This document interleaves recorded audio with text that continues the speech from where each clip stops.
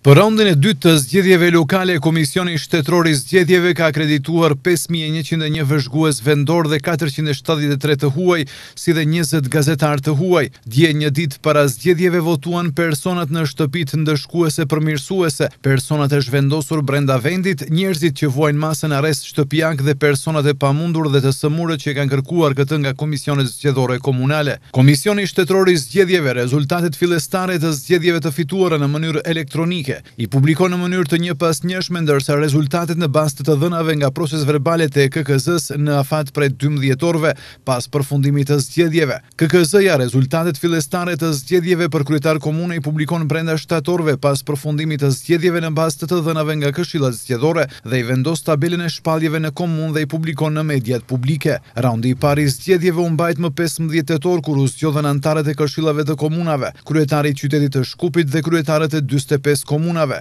Këto janë zgjedhjet e gjashta lokale në Maqedoni pas pavarësisë, të parat u mbajtën në vitin nëntëdhjetë e gjashtë, Vijuan edhe në vitet dy mijë, dy mijë e pesë, dy mijë e nëntë dhe dy mijë e trembëdhjetë.